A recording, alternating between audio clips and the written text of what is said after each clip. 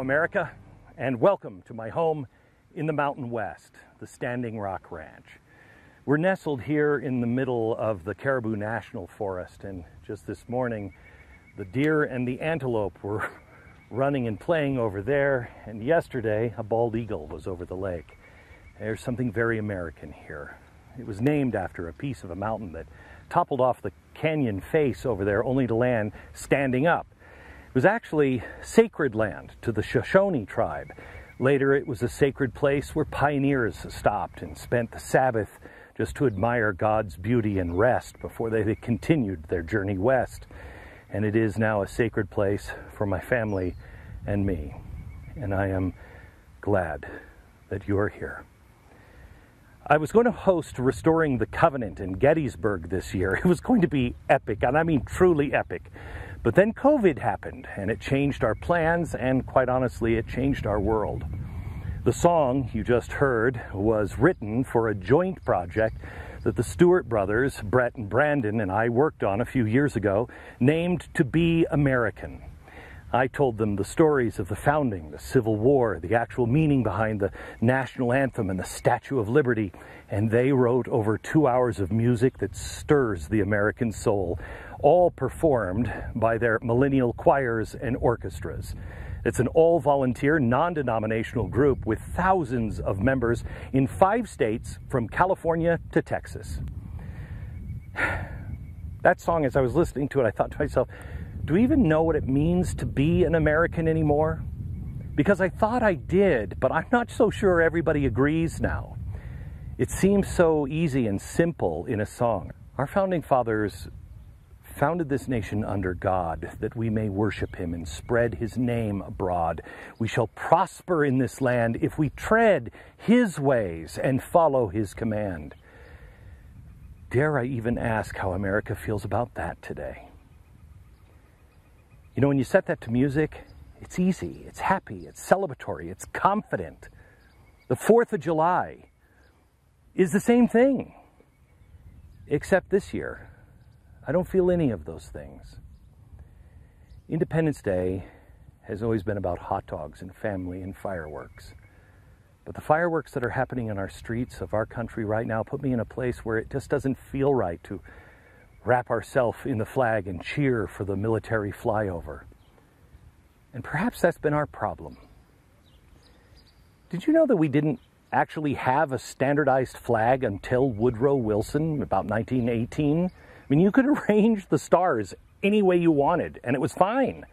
We didn't have a national anthem until the 1930s with FDR until then, we kept going back and forth, and people could pick whatever song. And a lot of times they played a song called Hail Columbia, which was awful, but that's another story. The reason why I bring that up is because we're not a standardized nation. That's not who we're supposed to be. We are a collection of misfit toys. We really are. We're all different people coming from, from different places with different ideas, and we all agreed on one thing. We weren't supposed to agree on everything just the important stuff. E pluribus unum from many one. And that one thing that we had in common was the idea of liberty and freedom and justice for all. To be honest with you, we all know our ancestors, we have even screwed that up many times through the course of our nation. But of course they did, and of course we have, because we're men, we're only human. How many important things have you done in your life that you screwed up? That's why, while some of our founders weren't the biggest fans of religion itself, they all believed in the tenets of Christianity, which was all based around forgiveness and grace. And we have lost that. And we need those things now more than ever. Because we have been a nation that has been great and terrible. Sometimes at the exact same time. But we look forward. Are we getting better? Up until a few years ago, I would have said yes, but now honestly, I, I don't know. And I don't even know now if we can hold this nation together.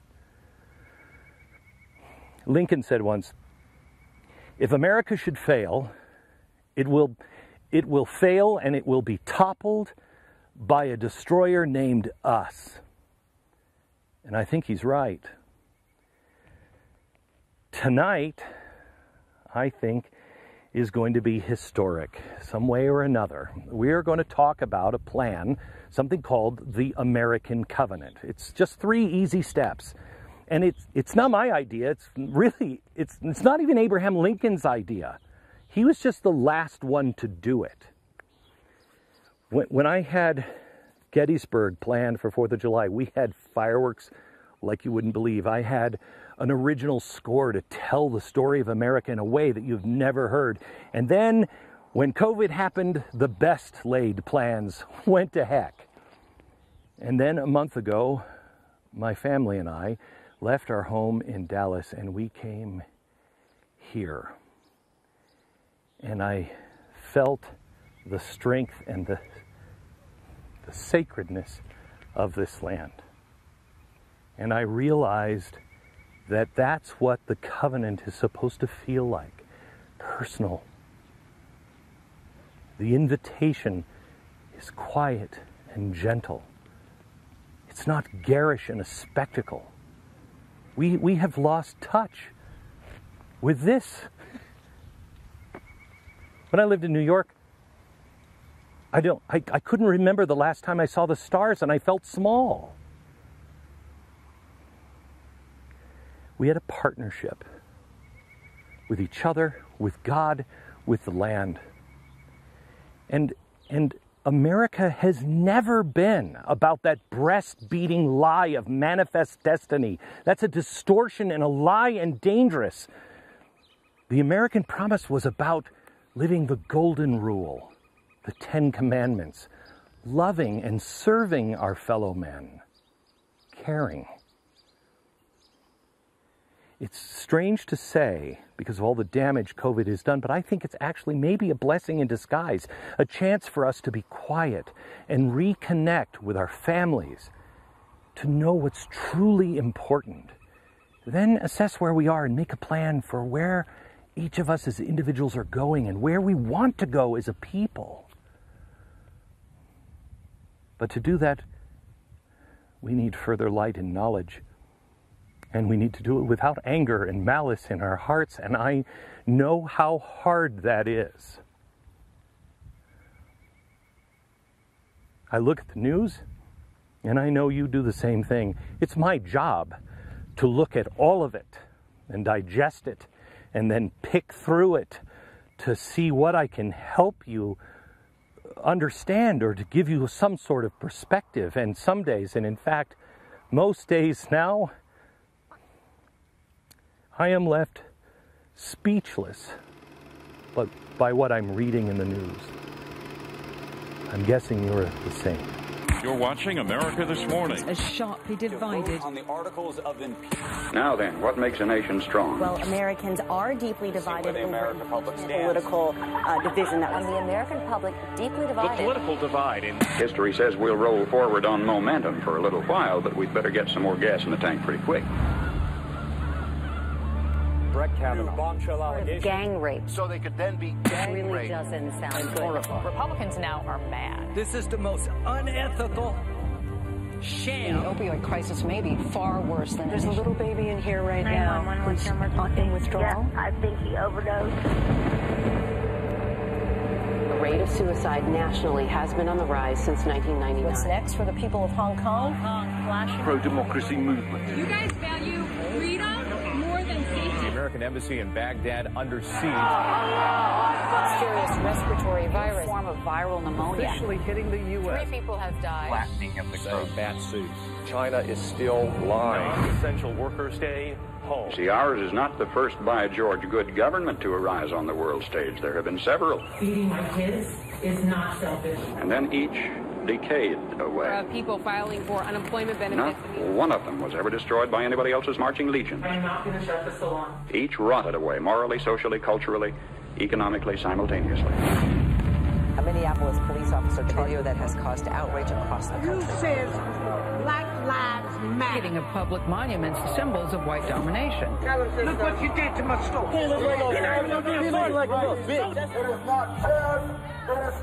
Come on, G. Come on, G. Damn, man. I was some TVs, cuz. I was some TVs, man. For real. That's somebody granddaddy car. We could have the summer of love. History promises only this for certain. We will get exactly what we deserve. What we deserve. Looking at the state of our world now, our country, I can't help but think of the story about Ben Franklin. It was the last day of the Constitutional Convention. He was in so much pain. They actually had to carry him because he couldn't stand the pain of walking on the cobblestones. And he sat quiet all through the convention, really didn't say very much. And at the end, everyone turned to him, the wise old man, and said, Mr. Franklin, what do you think? He said, I have been sitting here listening this whole time and I've been pondering the carving on the speaker's chair. It was a carving of a sun with the rays. He said, I've been wondering the whole time, is that a rising sun or a setting sun? He said, but now that I see what we've done, I know, gentlemen, it is a rising sun.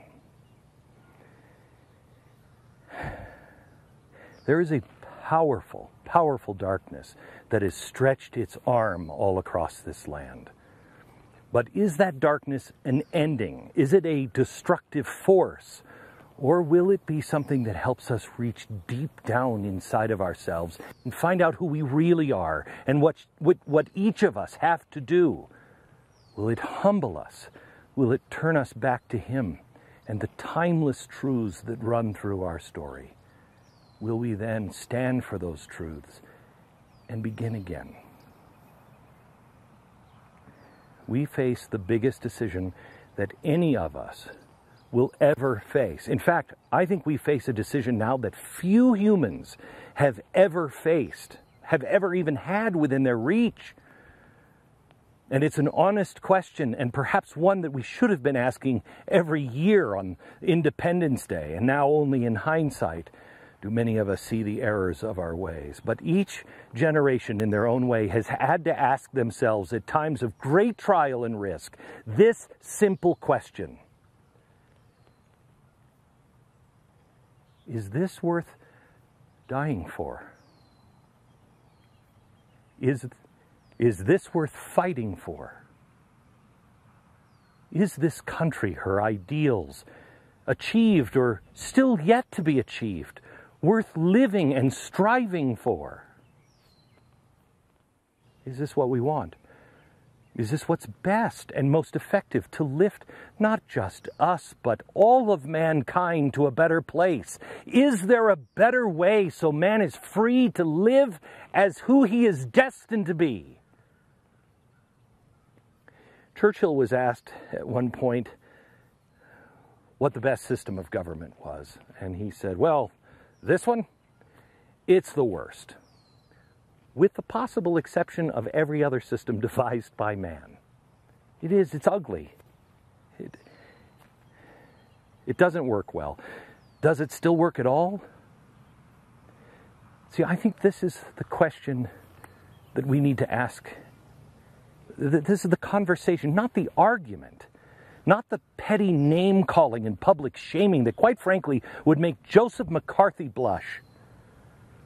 We should be asking ourselves is there a better way so we could all live together and not oppress one another? To live free of tyrants and remain safe and prosperous. And if it's not this, what is it? In just a few years, America will celebrate her 300th birthday. And this is the year that is the 400th anniversary of the landing of the Mayflower. And many Americans, including myself, is not sure we're going to make it to 300. But I know this God's will, not mine, not anybody else's, God's will be done. But should it come, it should come by our choice, not through fear or intimidation or riots or by apathy and denial. This great nation should not slip into obscurity and a new one rise in its place with nothing more than a whimper.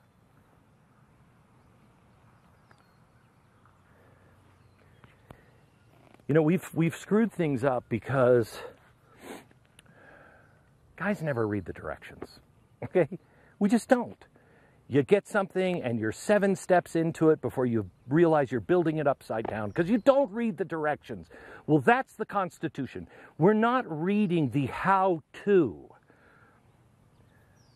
See, the Constitution tells us how to build things, but it doesn't say what we're building. That's our mission statement. That's the Declaration of Independence, and it is one of the most noble and powerful ideas of any age of mankind. That we, the people, that means you and me, that we see things, they're self evident, we see them so clearly that, that they, they no longer even need to be taught. And that idea is that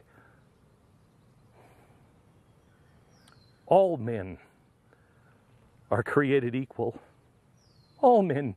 And they're endowed by their Creator with certain unchangeable rights. And then among these, are the right to life. No one has the right to simply take my life, white, black, blue. It doesn't matter. You can't do that. No one can come to my house and break my door down and just scoop me up and throw me in jail in the middle of the night. I have the right to liberty. I have the right to face my accusers. And the last one I find so ironic. It was originally we have a right to property. But our founders knew that some southern states would take that and say, that man is my property and our founding document says I have a right to property. So they changed it to the pursuit of happiness. And what does that mean? An amazing thing. It means I can do and be who I was born to be. No one has a right to dictate to me who I am or what I can become or what I can do. No one and I pay the price if I make a mistake, and I reap the benefits if I'm a success. I'm judged by the content of my character, my words, my actions. That was Martin Luther King's dream. As he said, America, live up to your own promise. That's the American promise. And it's a blessing that this country brought into existence and into fashion. Still today in the United Kingdom, in China, in India, and indeed still the greater part of the world, if you're not born into the right family or the right class, you can't achieve your dream. You can't have that job. You'll never obtain it because who your family is. That is what we left behind. That's why people got into boats and came here. Each man is his own. And when done right, he is only judged by his acts and his words. And when he errs, as everybody does, he recognizes his problem, he repays the debt, and he starts all over again. This is the land of forgiveness. In America, the home of the big boat cars, those huge cars. We understand there's a reason. Our rear view mirror is only this big. And, and the front windshield is so huge. Because we got to check where we've been, but we look forward. Where are we headed? The question I want you to ponder tonight is whether that nation, or any nation so conceived and so dedicated can long endure. But it is truly up to us. And I don't know about you, but I am so ready to find the answer together by asking honest questions, using honest and actual stats, scientific measurements, real history. We may find a better way. I don't think so. I think Churchill was right. We will most likely find rehashed systems that have failed and brought misery and hunger. But perhaps this system of government has seen its better days, and it is time for something new. Because the horizon is huge. There's something new on the horizon. But you have to know history as well. If you were born and raised and educated in the last 25 years, with what I was taught and now knowing what you have been taught, you, you don't know anything of this epic, epic story. And if I didn't know the story, I don't think I'd mourn the passing of this country either. As it all seems the same, doesn't it? But before we decide, I and a few friends want to tell you a story today. And it is a story that I learned from my mom and my dad and my grandparents, my aunts and uncles. I set out to test its truths myself when I was your age.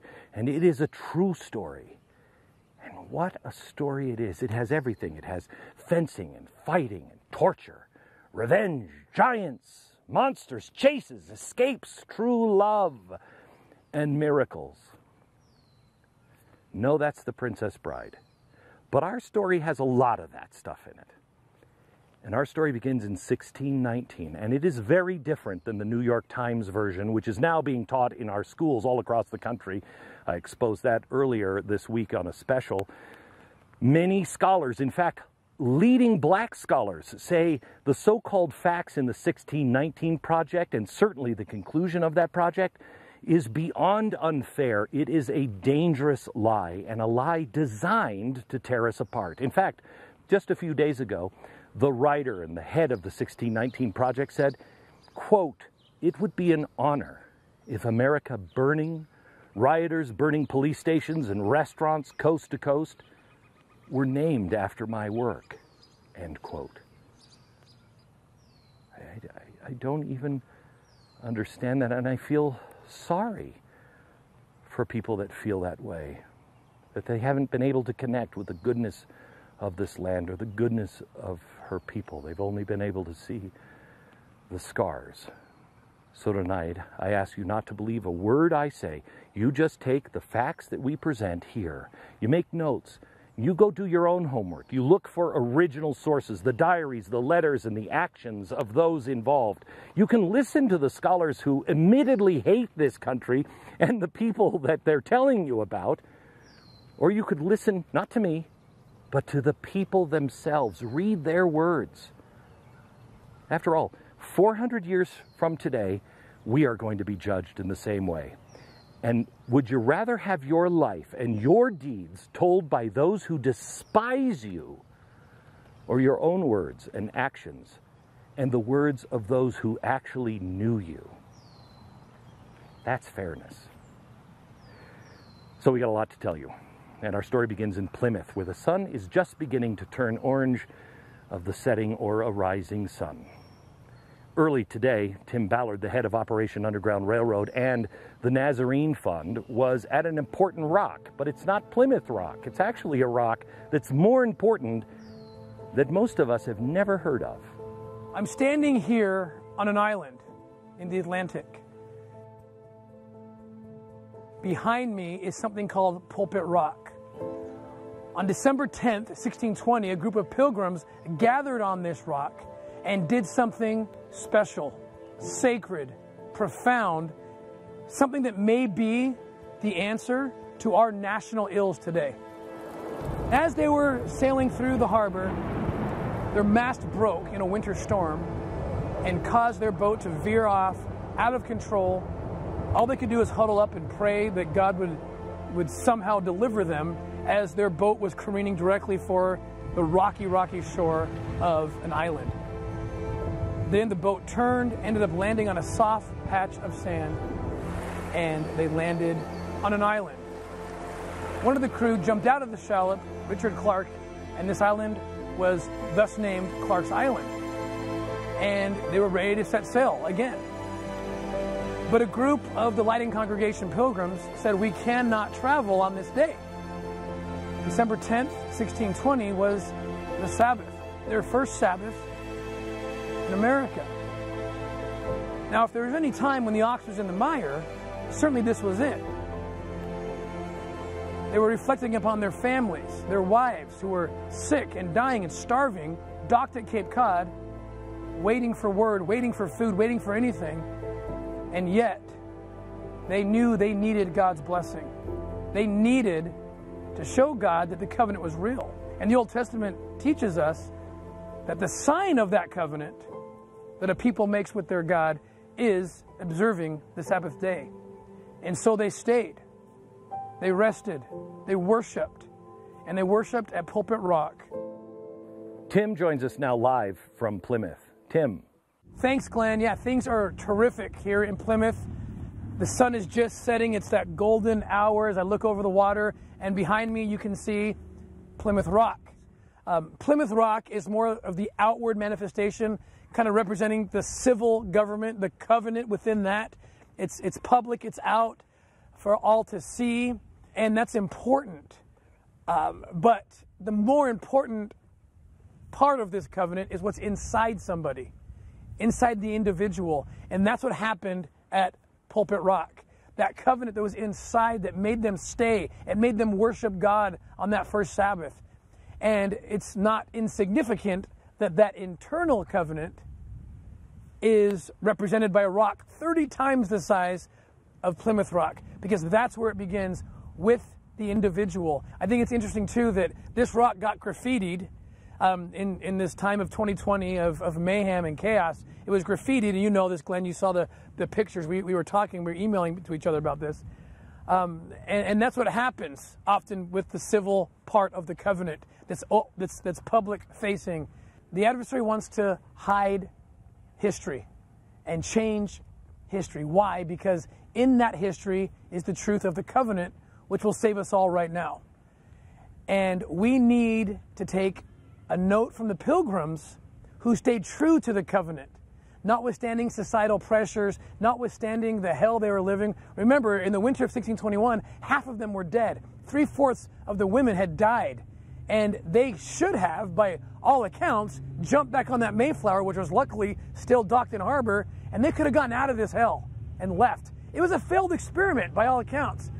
And yet, not one of them left this ground. Not one of them got on that boat.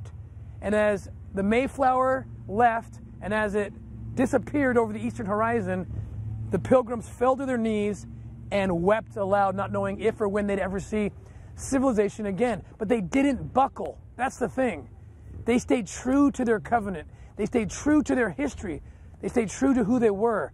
And that's what we are struggling to do as a nation right now.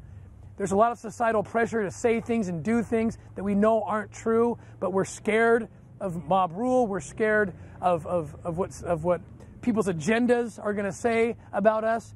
We have to stay true, stay firm, don't be thrown about by every wind of doctrine and idea, but stay true to the truth and to the covenant. It's our only hope for salvation, for national salvation.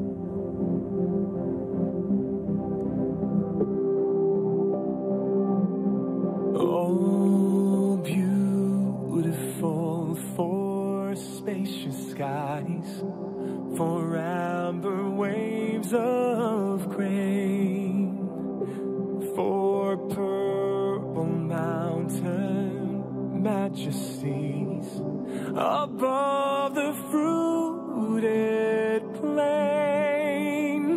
America America, God shed his grace on thee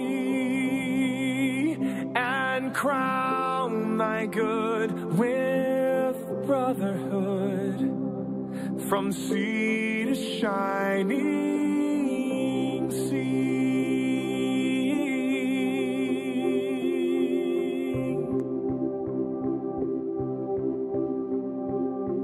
Oh, beautiful for pilgrim whose stern impassioned stress.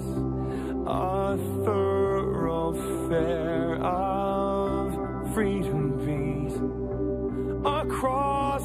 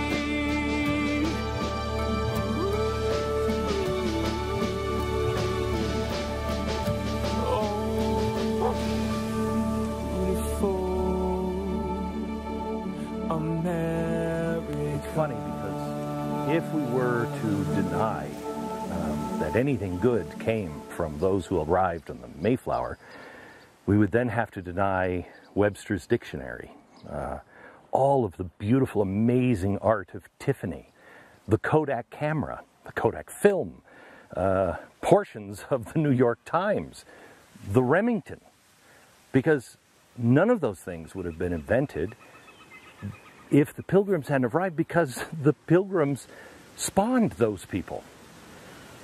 Daniel Webster, George Eastman, Louis Comfort Tiffany. God only knows what Hollywood would be like because you'd have somebody else playing Bert in Mary Poppins because Dick Van Dyke is a direct descendant of the people on the Mayflower, as is Orson Welles, Christopher Reeve, Marilyn Monroe, Katharine Hepburn, Julia Child, Bing Crosby, John Lithgow, Richard Gere, Ashley Judd, Clint Eastwood. The art of Grandma Moses wouldn't exist. Neither would General Cushing.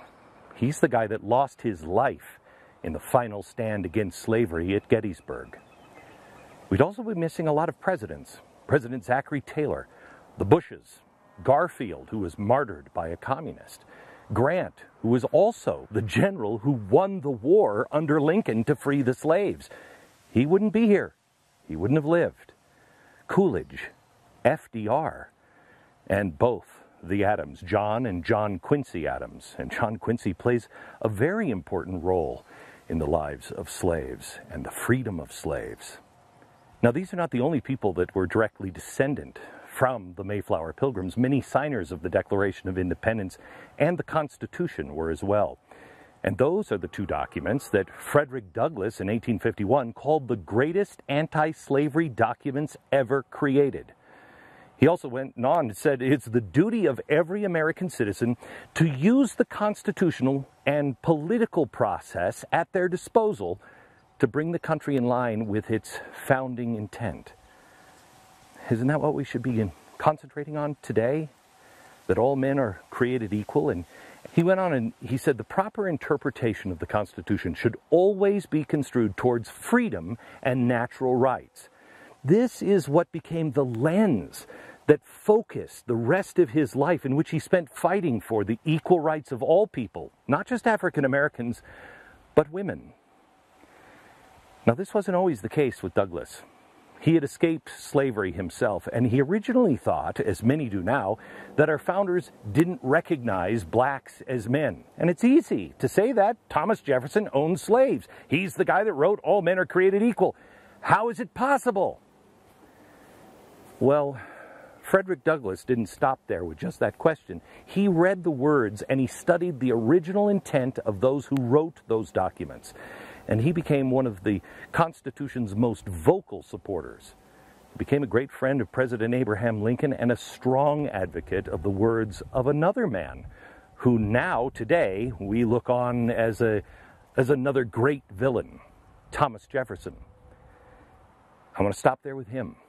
I want to take you to another golden hour back east and another sunset. This time, we're going to stop in Philadelphia and Independence Hall. This is where Tim Barton from WallBuilders in Mercury One is ready to tell you a little known fact that puts that whole story of Thomas Jefferson up on its head. Let's go to Tim Barton and Independence Hall. Tim? Thanks, Glenn.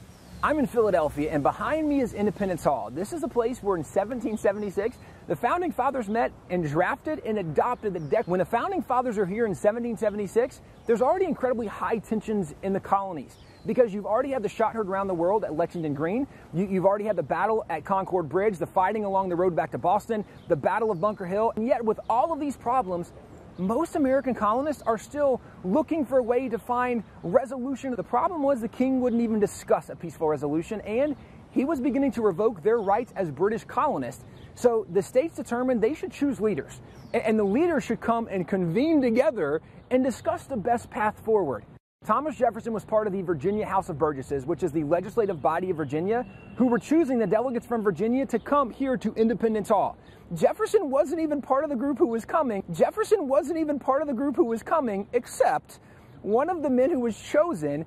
It became apparent he was going to be out of town for business, and so Jefferson was chosen as a late fill in substitute replacement for this guy. And so when Jefferson is getting here, he actually is put on a committee of five who is in charge of drafting the Declaration so we can declare to the world why we are declaring our independence.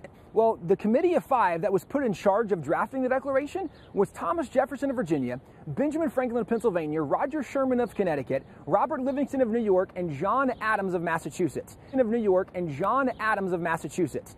And although Jefferson was the younger man of the group, the other men pointed him and said, Why don't you go ahead and, and you be in charge of writing this thing? So Jefferson took all the ideas. Jefferson wrote every grievance he thought would be pertinent and presented it to the bot. One of the most amazing things about Jefferson's early draft was he had a grievance. One of the longest grievances he listed was that the early colonies had tried to abolish or limit slavery in their colonies, and the king had struck down every one of those laws. Jefferson further went on to explain that the king actually was perpetuating the slave trade by promoting the kidnapping of innocent people and selling them in bondage around the world. One of the very cool parts about this grievance is that Jefferson, in talking about the slaves, he said that these were men and he capitalized the full word men. Why that's really cool is the only other words that Jefferson capitalized in his draft of the Declaration was the United States of America. By capitalizing men, the equality, the humanity of these Africans. And when this was presented to them, that grievance didn't make the declaration, but the declaration still had principles that would lead to eventual equality and laid the foundation upon which America was built.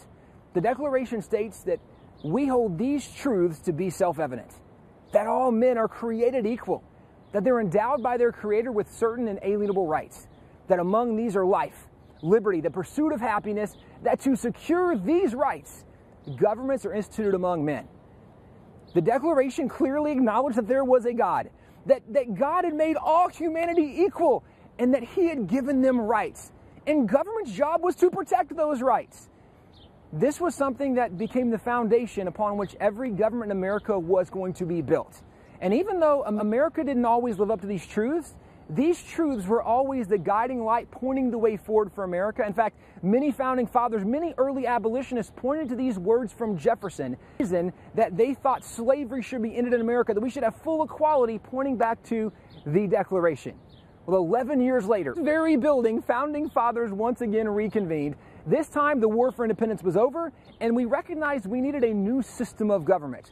Up to that point, we, we had had the Articles of Confederation, which was drafted during the War for Independence, but the inadequacies became very apparent. And even though some people wanted to try to fix the Articles of Confederation, people like George Washington and Alexander Hamilton said we really need an entirely new system. So when the founding fathers reconvened in this place, George Washington was chosen to be the president of the convention.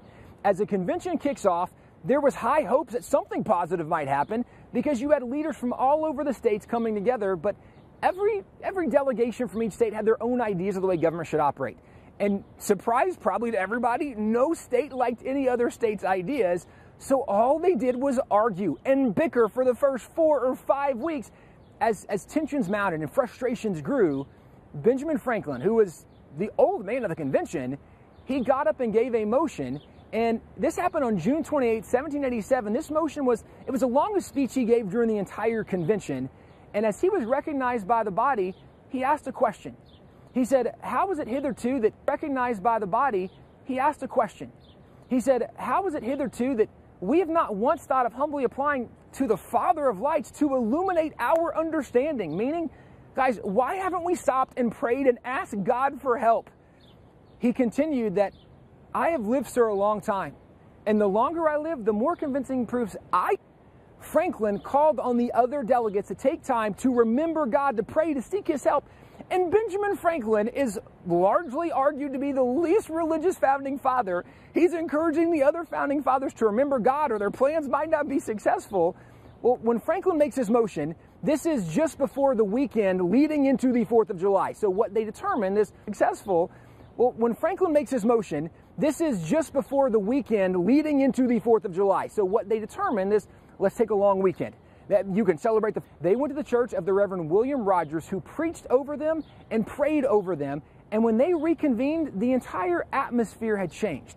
All of a sudden, the founding fathers were able to work together and start devising new ideas for a government going forward. They built on the principles of the Declaration and what they did is eliminated the power of the federal government. They, they decided they needed separate powers, so they had three branches of government. They had a bicameral system of a House and a Senate, and the Electoral College to help choose a president to, to try to resolve the problems of representation and, and the population gap between the states. And over the next several weeks, they were able to successfully create the United States Constitution, which has been the most successful governing document in the history of the world.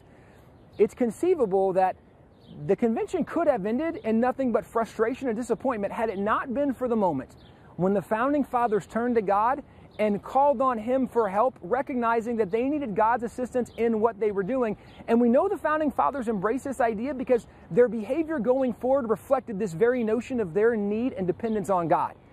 The cows are coming home, so it's that time of day here at the ranch. Um, so, what did we just learn from Tim Barton? We now know that Jefferson was not conflicted. He meant all men. And he talked about men putting on the auction block as being an affront to God. He knew exactly what he was saying. So now, how do we explain Jefferson? See, it wasn't Jefferson. It was two states out of 11. 11 said, yes, abolish slavery. Two stood in the way. And why? Because of the phrase at the very top a unanimous declaration. They knew at the time if there's one thing that divides us, everything we say must be unanimous. And if there's one thing that would divide us, well, the king will come and weasel his way in and split us up, and then it's over. So, quite honestly, they did what we do. When we are stuck and we can only go as far as we can go, well, then what? We look to the future. It's funny because this is exactly what progressives do. This is the very definition of that political strategy that's now being condemned because the founders used it. Why didn't you abolish all guns? Why are there still AR 15s? Because there's no choice. That's as far as they could take it at this time. They're hoping, like I'm hoping with abortion, that things change. What are you telling me? You're settling for 12 weeks? No, that's as good as I can get it right now. I believe it's life at 11, but I'll take 12. There are times that we have to decide as a nation. That's the best we can do. And then just keep pitching, moving the ball forward. It's our only option. It's either that or go to war, or what Marxists do, just kill all the people that oppose your belief. But that's not America. That wasn't what the founders did. That would have just been removing one deadly tyrant to replace him with another. And they took an oath on the altar of God no king but God. Well, after the Revolutionary War was won against the greatest army and navy ever assembled. I mean, remember, this is a bunch of farmers, okay? It's like uh, us, me, and my cows and my family going against SEAL Team 6. It doesn't happen. They knew that those blessings were just a continuation of the covenant.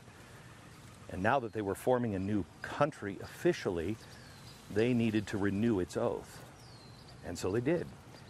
In a place called Federal Hall, which is where David Barton is, now just across the street from the greed of Wall Street today, there sits a quiet set of stairs and a statue that is now under attack in the last few weeks.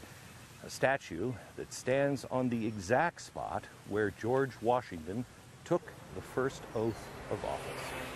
We're at Federal Hall in New York City, and this is where America's constitutional government went into effect in 1789 with our first president, George Washington, and the first federal Congress.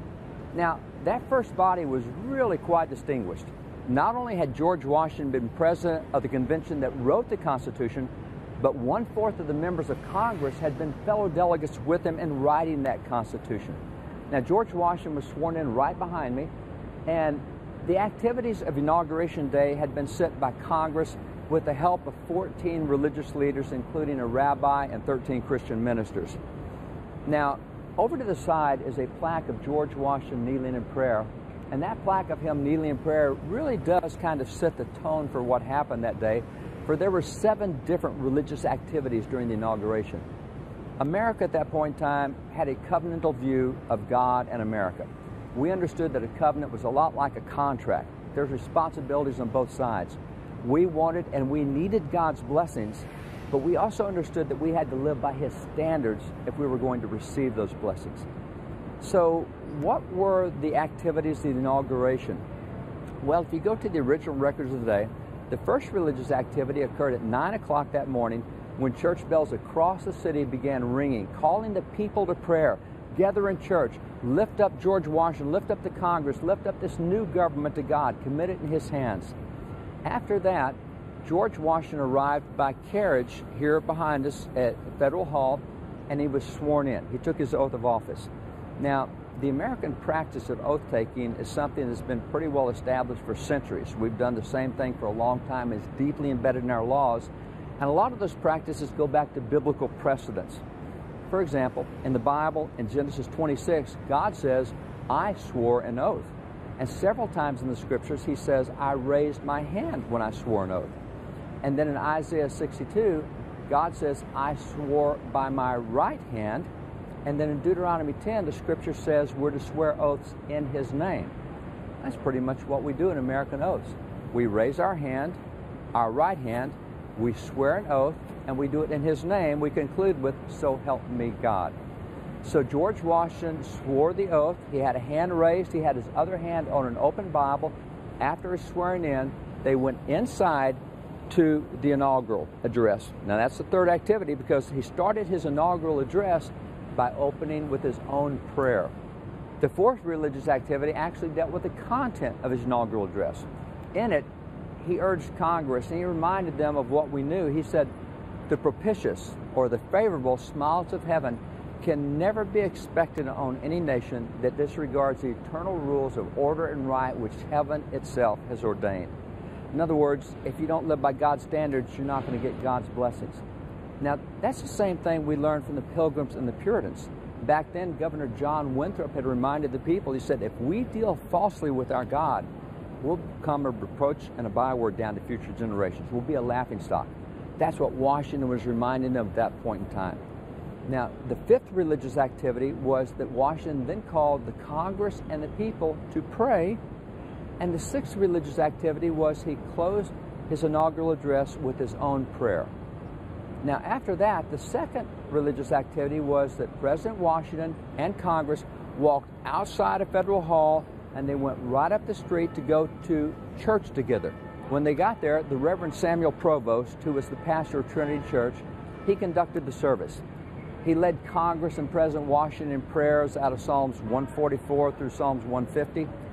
He then gave Bible lessons and Bible readings out of the book of Acts and out of 1 Kings and out of the second and third epistle of John. And that little chapel, St. Paul's Chapel, interesting story about it. It sits right at the base of where the World Trade Center stood. And when the World Trade Center collapsed on 9 11, it destroyed everything around it except St. Paul's Chapel. Not even a window was broken when the trade towers fell. Maybe that's an indication of God's providential protection over the location where America renewed the covenant in 1789.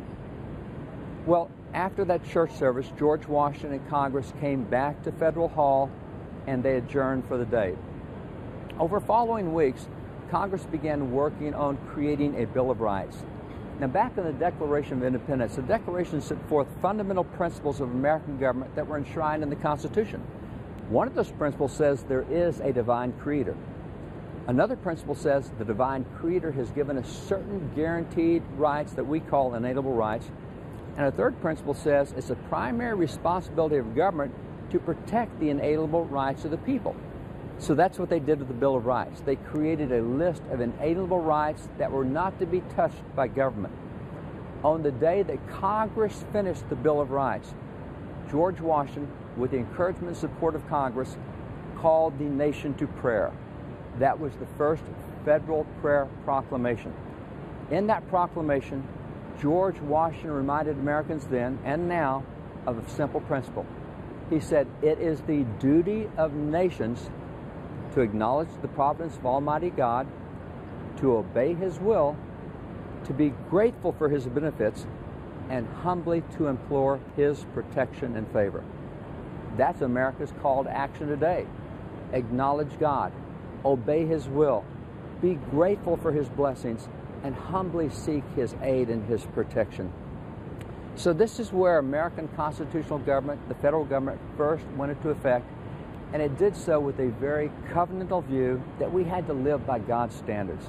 We love to sing the song, God Bless America, but it sure helps if we can give God something to work with. Back to you, Glenn. God bless America. David is exactly right. He did bless America. This is the land that we love. There's something, come here, come here. Give, house, house, house, house, house house. All right. There's God loves all lands, but there's something special about this one. And our founders knew that. The pilgrims knew that. They thought they were completing the trip uh, that the Israelites made when they first crossed the Red Sea. But to have this land, as rich as it is, with everything that is in abundance in this land, only a good and righteous people could possess it. And and uh, for that to happen, well, let me say it this way. Let me show you what's right behind you. So, what I wanted to show you here are the two flags that fly at the ranch. First one is the flag, the Bennington flag, it says Liberty and Union underneath. The founders knew we had to come together on a few ideas and we would have liberty. And beneath it is the George Washington positioning flag. This is the flag that flew wherever he was. Uh, it was his personal flag, the 13 uh, stars of uh, David um, on the flag. He, he knew that this land was sacred. He knew that it just wouldn't be any old group of people that would be able to do the miraculous things that needed to be done on the land. You had to be people of merit, you had to be people of virtue. And one day, right towards the very end, when the British were ready to uh, surrender, the soldiers knew they had won. They had just won a, war against the biggest navy and army and the best trained people in the history of the world up until that point. And here are these farmers. And these farmers had nothing. Remember, in, in Valley Forge, they didn't have shoes, they didn't have warm coats, they had nothing. And as always, Congress really had betrayed them all the way through. They had never financed them, never helped them. Most of them were unpaid.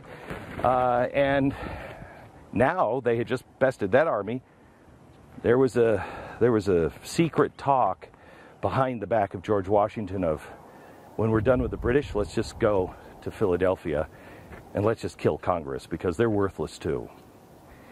They had this talk um, amongst themselves on the day that George Washington had ridden into Philadelphia to talk to Congress to plead their position. He came back, and as that flag once again was hoisted, a little earlier than uh, they thought.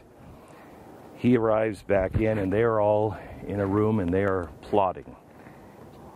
And when he saw that the men were gone and all gathered together, he knew what they were plotting. He came in and he didn't know what to say to them because, in many ways, they were right. They were right. They had been betrayed and abandoned over and over again.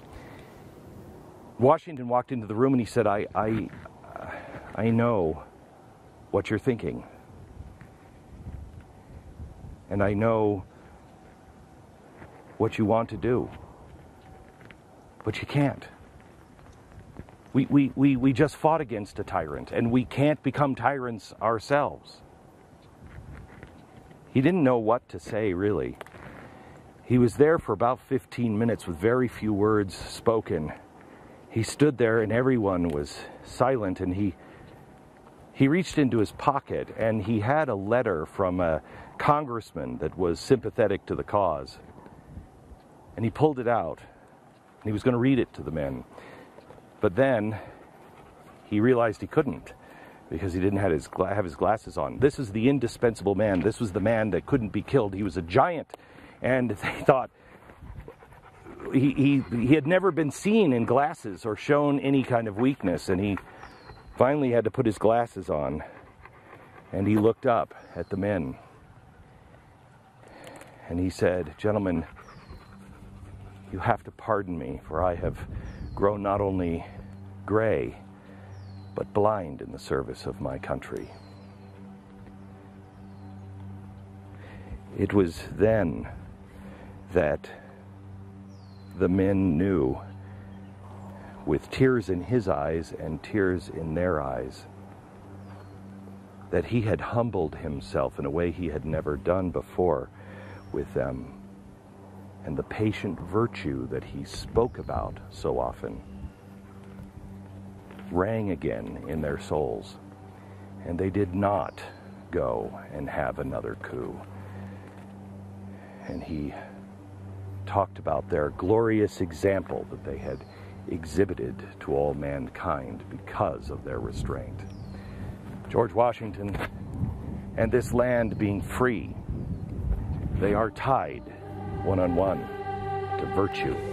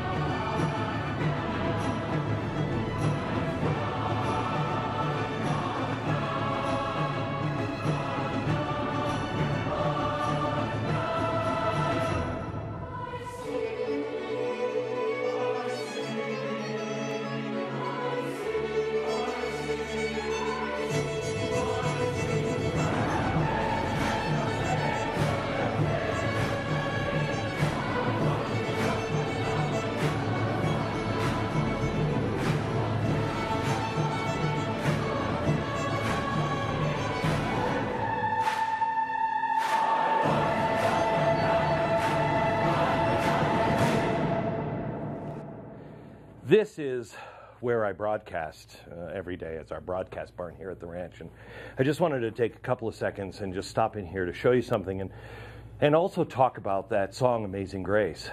We all associated, I think, with you know Southern gospel choirs, the Civil War, and all of that. But it's not about the Civil War. It's not even an American song, but it is about the slave trade. The wretch like me that wretch was the author of that song. It was a man who was a notorious slave trader himself, and he was in a storm of his life at sea. And he was so desperate, he made a covenant with God. I'll change my ways, I'll change my ways, and I'll, I'll stop the slave trade. I, I won't be involved in it anymore. Well, that was a personal covenant, and when the skies opened up and he returned home safely, he kept his word. And he later wrote that hymn. It was called Faith's Review and Expectation, and it became one of the most popular songs in the world. It's the most recognizable song and the most recorded song of all time. And it has been sung by everybody. I mean, it was so, sung by both sides in the Civil War. It was used as a requiem by the Cherokee tribe on the Trail of Tears, which is so strange because they had slaves and they were bringing them along on the Trail of Tears.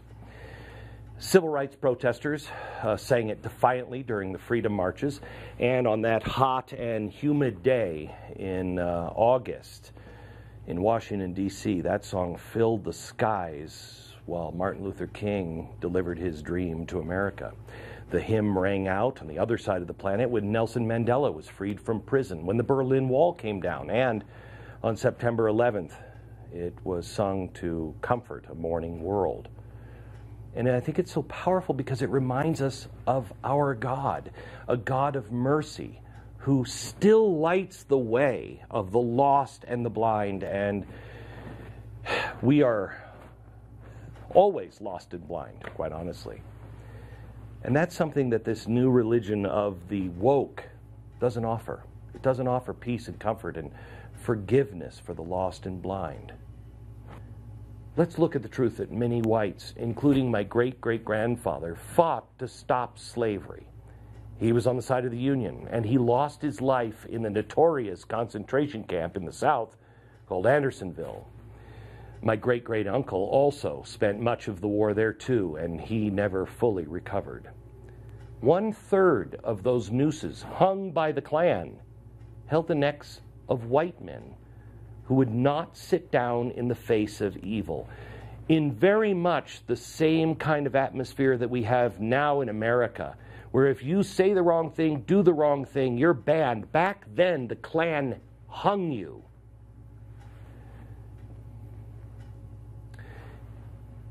I think it's right when we hear righteous cries from good Muslims that are not part of terror. It's right to not condemn an entire race or religion. And if that is right, why do so many people condemn all police officers or all whites or all anybody for something the vast majority had nothing to do with? In fact, they fought their own people to stop it. Yes, free blacks fought in the Civil War on the side of the Union, but it was mainly whites fighting against whites to end slavery. More importantly, it was just a war where humans fought those who had lost all of their humanity. I'm not making excuses. I just want to point out that there, it's worse than any of us now think. Because by blaming whites or just America, we are so preoccupied with this that we fail to see that it was happening everywhere and still today. If you believe that it was a horror here, then you must also accept that it was the same horror in Brazil, in Argentina, uh, in Mexico, and Africa. You also have to accept that this is just as much of a horror for the Jews in Egypt that Moses freed. And may God have mercy on our souls. Those of us who know that there are slaves today, enslaved by the Chinese, making our phones, and yet we buy them. the evil of Islamists over in the Middle East that have taken slaves just because they're not Muslim. And those people who are still women and children enslaved here in the sex slave trade in the Western world, including the number one buyer, America. You see, Lincoln didn't fail. It's those who came after Lincoln. It's us. Perhaps us, those living now, are failing our God. I know we're failing the 40 million of our brothers and sisters who are enslaved today by ignoring the problem. And we're doing it for exactly the same reason the early Americans ignored the problem. It is too ugly to look at, it is too ugly to, to think about. Nobody wants to hear it, and no one can see a way to end it. So we avoid it. But that is wrong. Let's also fix the truth to this part of history because our heroes are not bigger than life. They were not perfect. And I think they would be horrified by the big marble statues of themselves. I know George Washington would be. They were not perfect. They were men, just like us. Let me give you an example outside of our own country Churchill, villain or savior? Most people in the West, they'll say, oh my gosh, look what he did in the West. It was miraculous. He saved us. Uh, yeah, but you talk to people from India, Churchill was a monster in India. His work was miraculous and a horror show. So, which is he? He's just like us. Both.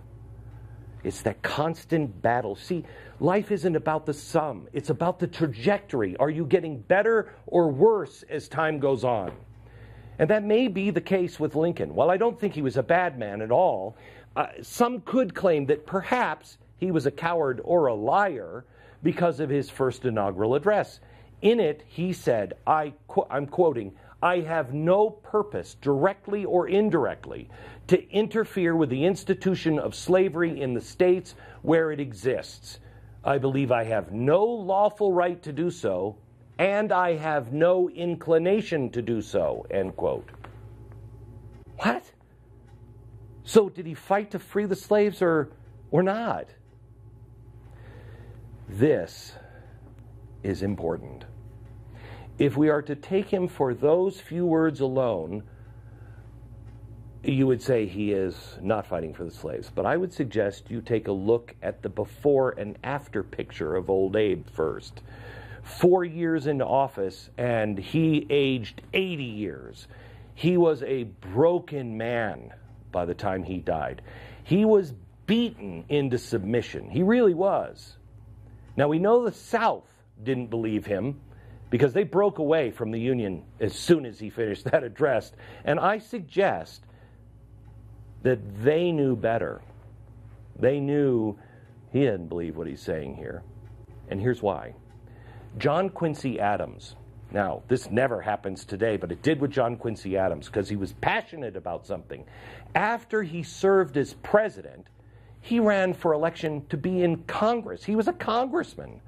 And he tried to introduce anti slavery legislation year after year after year. He wanted this evil to stop. In fact, they passed a law against him, even standing up and proposing it anymore. I mean, he was relentless. And towards the end of his life, he knew, I'm not going to get it done. So he looked around. Who in Congress here is young, has some time, and gets it? Who can I get to pass this torch on to? Well, he found somebody. That young congressman was Abraham Lincoln. John Quincy Adams, whose forebears made a covenant with God on the Mayflower, took a man that he saw potential in that the world would later call Father Abraham under his wing, and he passed all of the information, all the tricks of the trade, and the mantle of the abolition of slavery to him. We know that Abe believed slavery was wrong. We have a document in Mercury One's archives that shows in the 1850s he's making a case in his own handwriting why it's so wrong.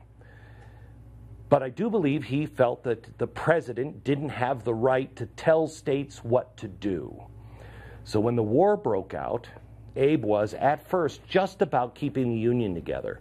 But as we lost battle after battle and things got worse, and Lincoln tried general after general, he was literally driven to his knees. He was, he was on his knees saying, What more do you want? What do you want me to do? It was then that Lincoln knew that this war had nothing to do with the Union, and it had everything to do with all of God's children in captivity. Leading up to Gettysburg, the South had won almost every battle. Lincoln was getting his butt kicked. After Gettysburg, after the Covenant, which we will share with you here in a minute and ask you to take with your family, the North won every battle, I think, except one. It cost Lincoln his life. Thousands of slaves found themselves free. But when they found themselves free, the question was what does that even mean? What does it mean to be free? Well, one of the slaves that had to ask that question was the great great grandfather of Burgess Owens, a good friend of mine who agreed to go out to Gettysburg, and he joins us now. Burgess. I was blessed to have learned about my great great grandfather, Silas Burgess, about seven years ago. And it's interesting because my blessing, not only knowing about him, but finding out that I really didn't know him. I knew him through my father.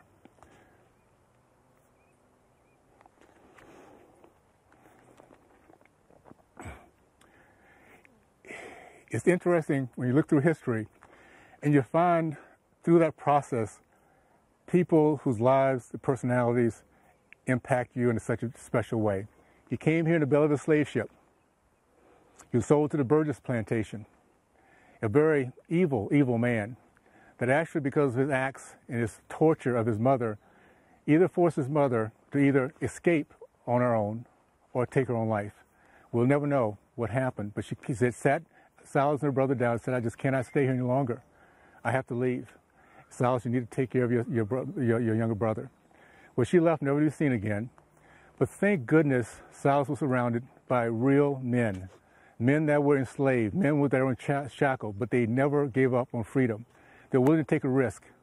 And they took that risk and didn't go north, like I'd always taught. That was the way the Underground Railroad. They went southwest out to Texas. Because there was also Underground Railroads southwest. The same Americans, the same types that would help those who get their freedom heading to the north will be the same ones, the same types that help, help my grandfather, my great great grandfather go west. These were Mexican and German Americans who opened their homes, their fields, paid a little bit, gave a little bit of food so they can travel a little, little bit further. Where my great great grandfather Silas ended up being a very successful entrepreneur, owned 102 acres of land, paid off in two years, started the first black church, the first black elementary school. But here's the message of that travel, that trip that he took from slave in the belly of a slave ship to Smithfield, Texas. You see, along the way, Silas saw a lot of evil. He saw being taken away from his, from his homeland in that tough trip in a slave ship coming to America to go to a plantation where nothing but evil and hopelessness was around him. But, but along the way, for his freedom, he met other people. He realized there were Americans out there that weren't his same color, and weren't the same as those who had captured him, but they were quite different. They were kind, and they looked to Heavenly Father. They looked to a God that they had faith in to treat other people right. And along the way, he learned that he can do the same. He can actually forgive those who had treated him wrong. That he can be a, make a difference because everything that happened to him led him to this position in time where he saw himself blessed and saw himself as a leader and saw himself as the, the, the anchor to generations to come that will be first successful in this country. It was the American people that gave my great great grandfather a second chance. And that second chance has led to me now, years later, through, my, through a dad who, who, came back from war, who uh, could not go to, to, to, get his postgraduate down in Texas because of Jim Crow laws, but he kept trying because that's the idea of a free people. You never, never, never quit on your dream. The point I'm making, those who truly believe in this country, those willing to take those tenets, You're one generation away from living the American dream if you don't give up. If you, if you understand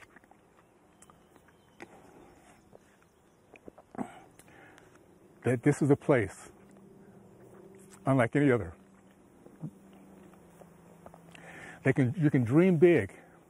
You can fall flat on your face and start all over again as often as you want to. That's what true freedom comes down to. Burgess, it must be amazing to finally be in touch with your family's legacy.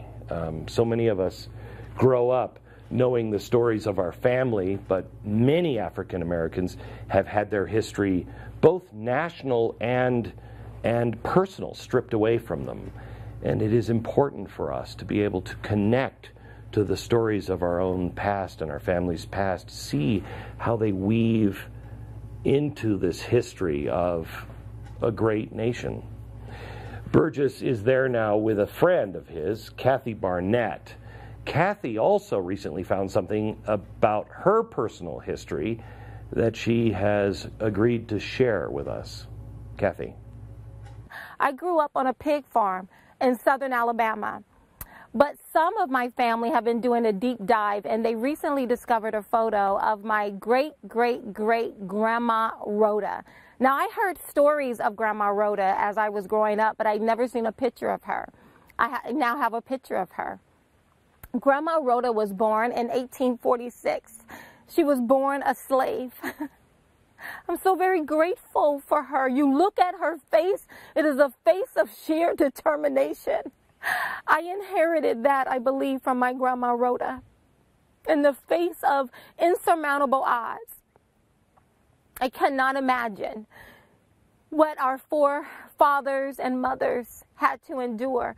And yet, I always said to myself before I saw the picture of Grandma Rhoda that although I've never seen them, her blood courses through my veins, even as I stand here to you today. And I believe that I have an obligation to live well. I believe black Americans who have the blood of slaves coursing through their veins, we have an obligation to live well in this nation. We are not victims, we are victors. We have overcome some insurmountable odds, being the equivalent of an animal. Having our children sold on slave blocks, separated and never to be seen again. And here we stand. I believe I have no idea what real racism looks like. I have no idea what real racism feels like. Yes, I've been called the N word before. Yes, I believe people have acted in a way that if I sat and thought about it long enough, perhaps I can link it to, to them being racist. But I have no idea what it feels like to be bred as a business strategy. I have no idea what it feels like to be sold to the highest bidder. I have no idea what it feels like to use, to drink out of the dirty water fountain because I'm not allowed to drink out of the one that says for whites only. And although I, do, I, I have no idea what those things feel like, we all stand on the shoulders of those who endured the impossible so that you and I can now have the choice. America is not perfect. You will never hear me say America is perfect. I have taken the time to understand Amer- the good, the bad, the downright ugly in this nation, and the opportunities. there are so many opportunities. And today I can do anything. Will there be obstacles and challenges? And will individuals who are racist try to oppose me? Yes. But in America, unlike the Jim Crow law eras, unlike uh, slavery, that systemic racism, I don't have to guess the number of jelly beans in a jar in order to test my literacy in order to vote. I get to walk in, I get to register, and I get to vote we're still on the path of a more perfect union. And we will forever be on a path of a more perfect union because we are imperfect people. We are America. I am America's hands and feet and eyes. And if America is imperfect, it's because you and I are imperfect.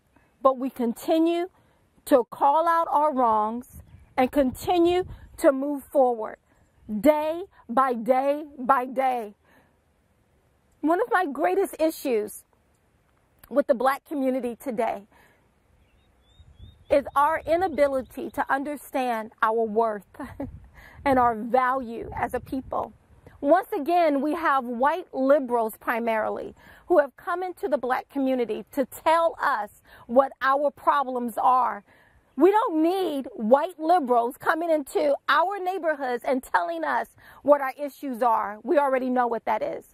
Our number one issue is that we do not have a seat at the table.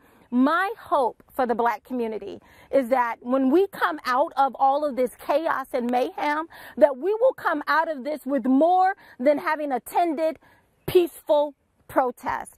That we will come out of this with more than just listening to pretty fine speeches, but that we will come out of this demanding full inclusion. That when primarily white liberals go behind closed doors and go into their boardrooms, typically black people are not in that room when they start discussing the black issue. My hope of coming out of all of this mayhem, all of the devastation that we've experienced, is that we will continue down the path of the second civil rights movement. And I believe that is continuing down the path towards full inclusion. Emancipation Proclamation gave us freedom. The Civil Rights Movement put us on the path towards equality.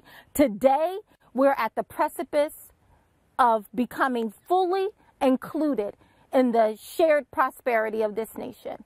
That is my hope for the black community. Anything short of that would be shameful. Kathy, thank you so much for sharing that with us. Uh, it's an amazing story, I know deeply personal, and it's got to be incredible to be able to share that with the nation there in Gettysburg, a place where so much suffering and sadness stands right next to freedom and hope. Now, we often associate Gettysburg um, with all of the country's history connection to slavery. But many of us feel that slavery has nothing to do with us, that it's just part of our country's past and it really doesn't affect us. Not in the way that it impacts Burgess and Kathy. But I want to introduce you to someone else. Um, she's been in Gettysburg today, and I can't wait to hear from Anna Paulina Luna. Anna, what does it feel like to be there in Gettysburg today? When you come to a place like Gettysburg, as you can see behind me, you see a beautiful landscape. But when you think about the thousands upon thousands of fathers, brothers, grandfathers that came to this place to fight out the ultimate fight on where were they going to allow the oppression of human life or where they to pick up the mantle, something that Jesus Christ talks about true freedom and fight for the new foundation of what this country was. You come here and you can feel that this area is indeed sacred. It was a place that Lincoln came to not only make a vow and a covenant to God, but it's a place that people came and paid the ultimate sacrifice. And as a veteran, someone who sees that still to this day to understand that this place, our freedom was bought and paid for by none other than American blood. And it is our obligation as Americans to continue fighting for that very foundation, that very idea that gives us the ability, that gives us the privilege of being in one of the most blessed countries on the face of the planet. It is your obligation to continue that legacy. It is your obligation to fight for that freedom. And if we don't, we are only guilty as those that would seek to oppress and enslave mankind. When you talk about what's happening today in the United States, you talk about the level of freedom that we have priding ourselves in, in, being a country that has essentially eradicated slavery, but yet you have people that ignore the fact that there's human trafficking every single day in this country, that the United States, according to the 2019 Human Trafficking Report, is one of the top three countries in the world known for consumption of human beings. That is wrong. It is your obligation to take a stand against that. When you realize that there are 18,000 women annually trafficked at the U.S. Mexico border, or that UNICEF says that 16,000 children on average, have become victims of human trafficking. Is that something that our founding fathers would have accepted? Absolutely not. Is it something that we all have a chance to fight? Absolutely. Within every single one of us, there's an abolitionist. We all have the opportunity to pick up our cross, to do what's right, and at the end of the day, answer for what we've done to fight for these people. And that's what I'm here today to say that you have a chance to join this movement and to help end slavery. So, what Anna has been talking to us about is something we're going to get to here in a minute. And I know when you hear action, you want to take action. We all do. And I'm going to get to that here in a minute. But we, we still have some other things we have to put into place. We have to put history solidly back in place. So, the stories that surround Gettysburg remind us of our incredible heritage, the heritage of uniting for common good. Too many stories now of these kinds of heroes for us to be able to share here tonight. But I encourage you to go to the link you see now to get the entire story of Lincoln and how he came to commit to the covenant personally and for the nation. You will understand it much more deeply when you see that. And Tim Ballard was out at the place where it happened. Click on that. Now, the covenant itself, it was sealed with his life. Many gave up their lives and shed their blood and cried tears as part of the great covenant. It was a it was an earth-changing moment. It was a, not just the history of America, but it changed everything. And a moment that brought us together. And yet, many today believe that the blessings that should have come from this great sacrifice, the war between brothers and sisters, hasn't ended and didn't give all men and women the freedom that they deserve. Today, many still believe that America is not the land where men are created equal and can live that promise. Is it true? Did we raise our weapons against our own fellow countrymen and our friends to not accomplish the goal of freedom? What is the honest history of African Americans in our nation from the Civil War on to today?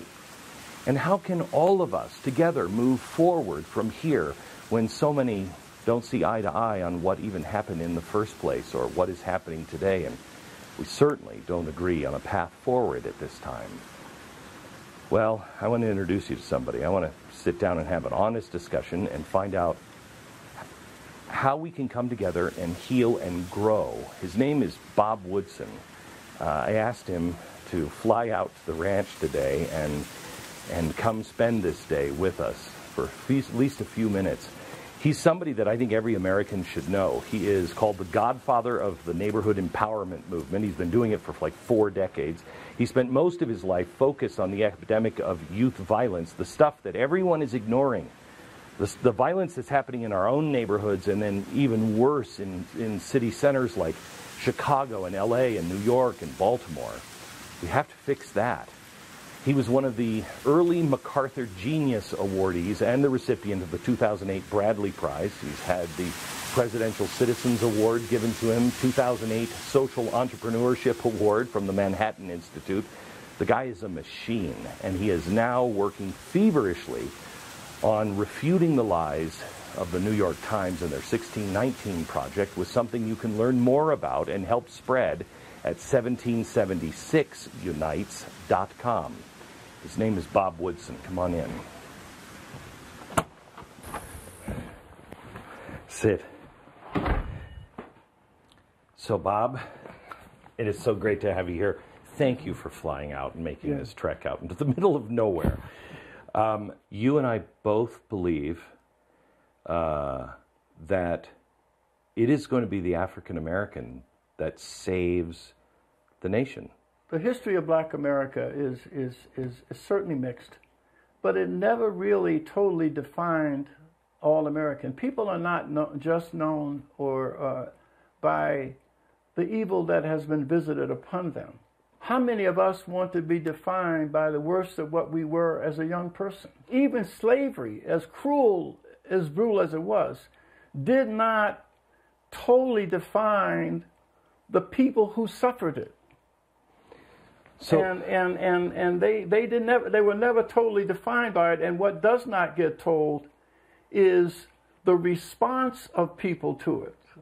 Frederick Douglass said when he was beaten by his master, he was a, a slave who was a man. But when he fought back and beat his slave master, he said, I became a man who was a slave, which meant, meant slavery was no longer in him. Correct. And that's what we're talking about. And, and I would say that there are people today, like the people with the 1619, who, who say to black Americans today that the conditions that you face, that all of these indignities that you're suffering was a legacy of slavery and Jim Crow. See, that's the premise one has to challenge, regardless of, and, and, and so that's the lie that they tell to people to explain 50 or 60 years of failed policy in these cities. I had the movie. So then why why does it not feel that way now? Blacks being trapped in that legacy of slavery coming into today. Why is that not known all the good because things? if they can focus attention on systemic racism, whatever that means, then no one will ask then why what were the black officials who were running these institutions doing all this time?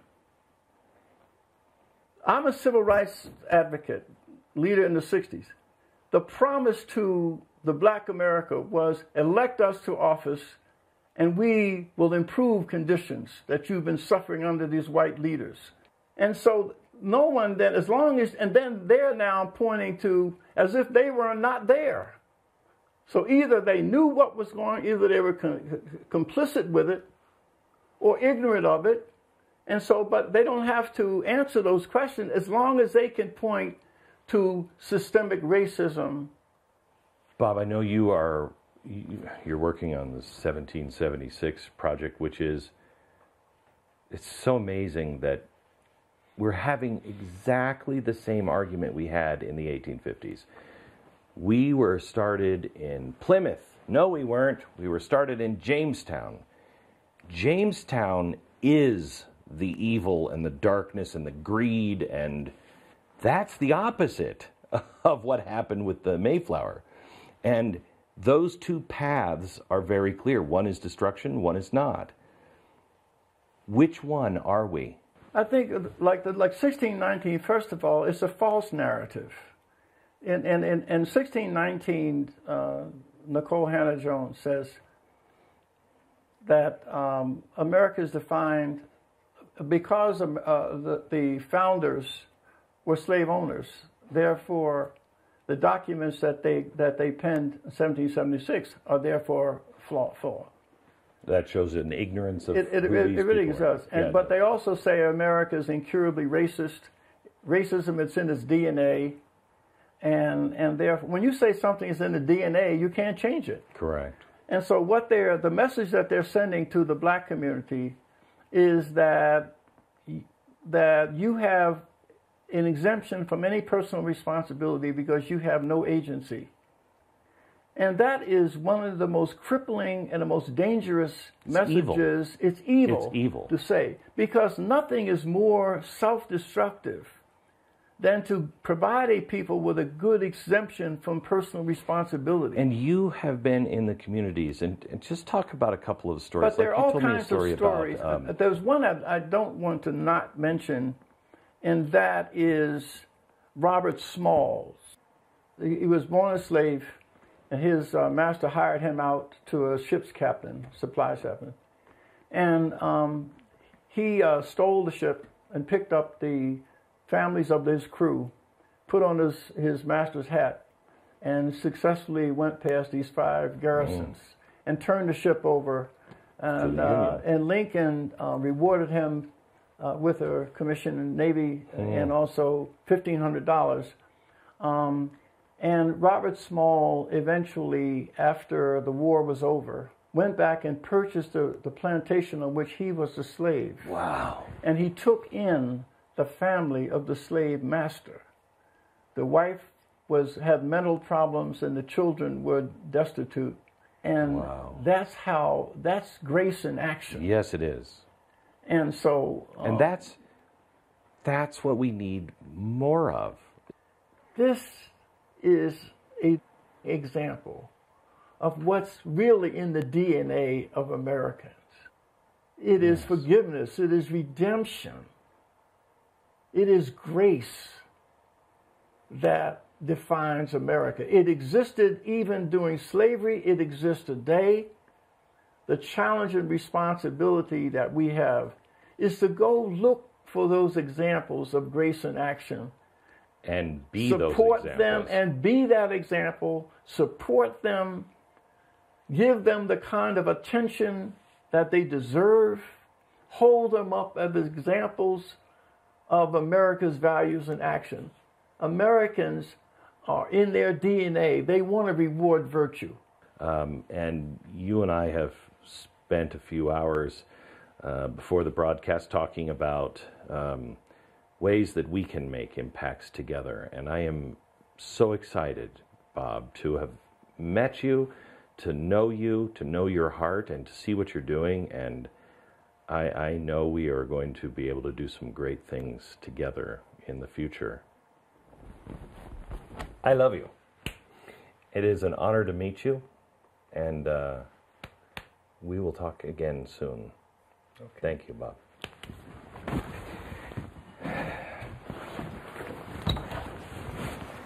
So there is a path forward, but it has to be anchored in the truth and anchored in our history. And it's going to be tough, the road we have in front of us.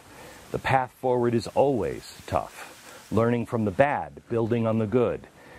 It's not easy because nothing worthwhile is ever easy, but also because, like so many things the first place we have to start is by looking inside of ourselves. Self examination is one of the hardest things we have to do. We not only have to be honest about our country's history, but we also have to be honest about who we are and the role we each play in this. It's not just about healing our nation, it's about healing ourselves and starting with our families, healing our families. We can't make a covenant to save the country until we've made a covenant to save ourselves and our families during this time of COVID. I told you it's been a time, it's been a blessing. It's been great self reflection and chance for my family. We have dug deep and tried to figure out who we are, what we want, where we're headed, and what role each of us play in each other's lives and our nation's lives. We've used this time to heal family rifts and really listen to one another. And it's an amazing what can happen to your family if you can all just come together and just listen to one another because everybody's wounded. A lot of times, just through misunderstandings or things that the offending party didn't even know they did, really, they didn't realize. And that process is messy at times. And having those kinds of open discussions has not been easy for us as a nation. It's not easy when you sit across the kitchen table and try to tell the people you love how you really feel either. But if we expect to do it as a nation, we have to do it first with our families. It's hard to really listen and get past your own feelings and really listen to the other side, to see how other people feel and see the things from their point of view. Sometimes that's a member of your own family. Remember, when you're trying to put things together, this is not about politics. It's not about who voted for who and who's right. It's, it's about healing scars. And just like our national conversation, it can't be done unless everybody in the room really desires the same thing a peaceful, loving family, a peaceful, loving nation. Some don't want that. Some just want their way. They want to be right. They want to win. People are very invested. You're very invested. And then there are those who just want to divide. Because our time is so short, we don't have time to get to everyone. So concentrate on those people in your own family and and in life, your everyday life, that are just really seeking the truth and harmony, not to win. When I see my family, I see them each for who they really are and who they want to become. And when you can see that, you can stand for them. And even if you disagree, you can stand for them. You could be a champion for them. You can lift them up. And in return, it lifts me up. And then we all stand together as a family or a nation. We all have the strength to stand for others, standing with others, bearing their burdens, and being blessed by their joys.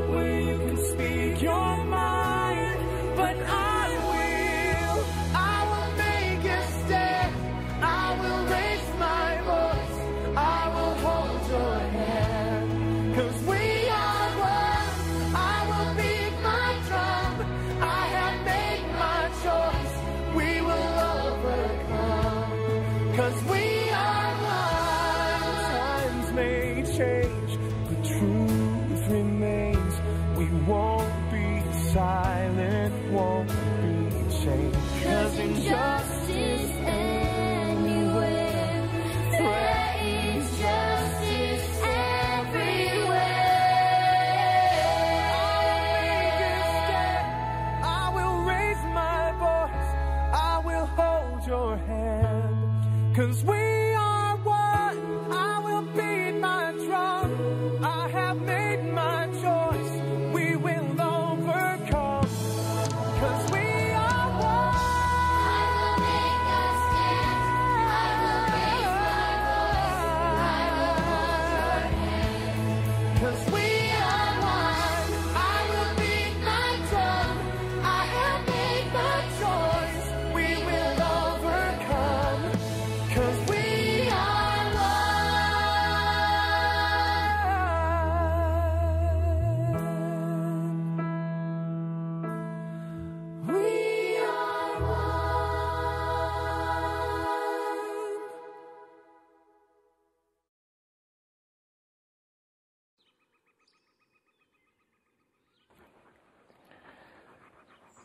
David wrote that song for me just a few years ago.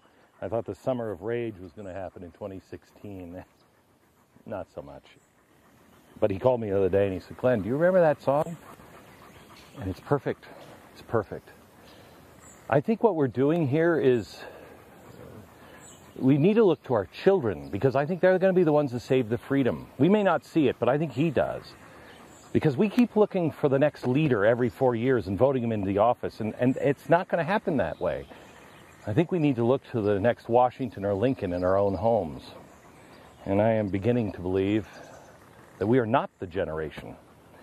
And every moment that we spend on something other than teaching our children the ways of the Lord in true liberty, we're going to be held accountable for it. Nothing will ever be more important than the work we do right now inside the four walls of our home. But if we are worthy, if we are right and just, He is going to show us the way. He is doing things all around the world right now that none of us are aware of. People who've been prepared for this time, you're probably one of them. People that don't see how their piece fits, but you will. You just have to stand where you're supposed to stand, do what you're supposed to do. We know we have to do something, something or another. Like like this. I'm doing this special because I feel like that's what he wants me to do. This is insane. I don't know if anybody's even going to watch this. And even if it does, how is it going to affect the country? Please. It would be really easy for me to dismiss and say, Lord, it's not going to be big enough. I mean, I'm just about to outline three easy steps that I think we need to take. But I don't know. I have no idea. I don't know. I don't know his plan. This whole thing may just be because one person, maybe you, needed to hear the message that you are important. Your voice, your talent, your time, your relationships, they're of great value. So many Americans have just been beaten down, you know? I think the whole world. Look what happened in, with Brexit. The whole world, we're, we're told we don't really make a difference. Shut up. Shut up. The people in Washington, the people in London, or wherever, they, they know what's right. You don't make a difference. Your voice doesn't matter. And now we actually believe it. It's a lie. This is your permission to speak and to stand. You are a valued son or daughter of God, and what you think and do is important. As long as you're doing what He tells you to do, no more, no less. Prepare, stand, and act. Prepare, stand, act. We're all in the dark. But, and I love this, if we're all standing where we're supposed to be, when the lights go on, when the sun rises again, and we all have, we brought what we were supposed to bring, we're going to see a masterpiece revealed. It's like God is holding a giant surprise party for evil. Surprise! God planned this party. We just need to show up and bring what we were told to bring. Have faith in Him. He's got us if we allow Him. While I'm talking about having faith in things, let me, let me speak to the next generation. Please have faith in yourself. You are the hope of all those around the globe who still are yearning to be free. They are waiting for someone, and you were born at this time in this country for a reason. You're strong enough.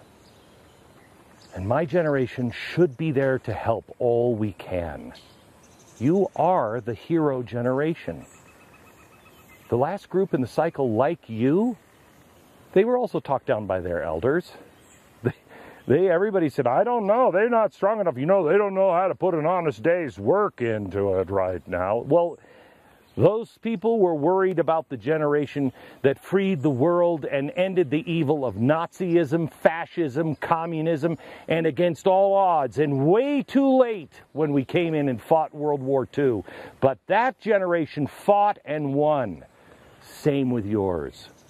Your ways may not be my way, but if you listen to him and they're his way, we are fine. You know, we're told Remember not the former things, nor consider the things of old. Behold, I'm doing a new thing. Now it springs forth. Do you not see it? I will make a way in the wilderness. I will make rivers in the desert. Believe it and know you're a part of it. Grow a personal relationship with Him and He will guide you. I know this to be true. You will witness great and powerful miracles in your day. And I just hope I am there and we are together to give Him the proper thanks in the end. Many in your generation have been lost to Marxism, to consumerism. They've been lost online. So many people of your generation are committing suicide. I come from a family of suicide. I know what that is.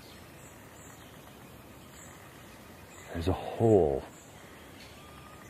And when everything the world tells you is good doesn't fill that hole, there's nothing left. We have failed you. We have failed to teach you truly the things that are important.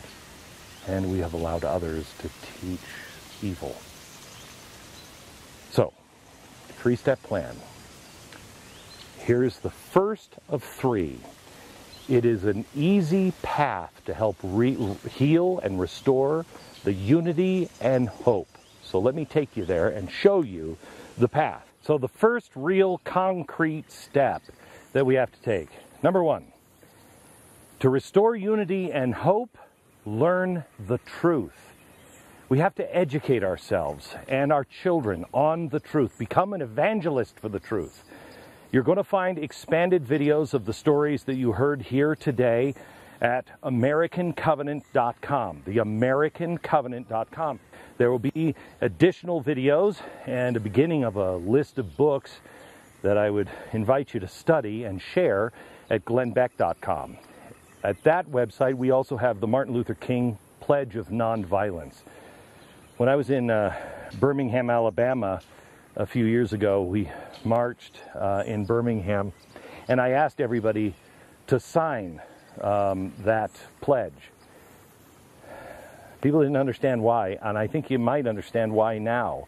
And we have to begin to live in the ways of our grandparents and our great grandparents. We have to begin to re- repurpose and reduce and reuse, repair, recycle. Most of all, rethink. We have to use our resources carefully. Uh, we have to invest in those things that actually help build and not tear down, not divide, but unite the country. We all need to put our money to real use as well. I think all of our money is going to be worthless at some point, any, anytime, anytime uh, coming. So we might as well put it to use uh, in real ways. May I suggest a healthy donation or even just a monthly auto donation of a Lincoln, a $5 bill, to a charity or charities that you trust. And those charities are working towards the goals of education, commitment to a higher purpose, and action. So I'm going to give you a couple of suggestions. Mercury One, full disclosure, this is the charity I started. You don't have to do Mercury One, but listen if you're interested in education. We are now currently educating 17 to 24 year olds. We've been doing it for the last three years, a leadership training program. It's two weeks in Dallas, Texas, where the students have hands on education. We have access to more founding documents, the originals, than anyone other than the National Archives and the Library of Congress. And they learn what is true, our true history, by using those original documents. And we're about to unveil a new education center later this summer that we have been busy building, where we will be expanding the courses to all ages and families, both in person and soon online. I would invite you to apply to attend some of those, or you could just donate to further the cause at mercury1.org. Also, the Woodson Center. Boy, the people that are working there, uh, they are more than worthy of your time and your investment at 1776unites.com. Bob and I are going to be talking about some things that we're going to be doing in some communities that I think you're going to be very interested in helping.